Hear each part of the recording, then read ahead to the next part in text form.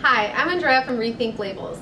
In our second video of our Rethink Wine Label video series, I'm going to be talking about our craft label collection and the wine stock materials that are available through it. The Epson C7500 technology and their special chemistry of inks combined with the label materials that we have developed to run through the Epson allow wineries to be able to print on demand on professional wine stock materials for the first time ever.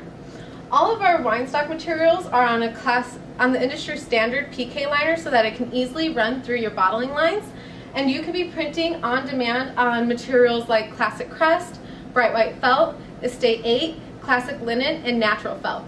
Foil stamping and embossing options are also available.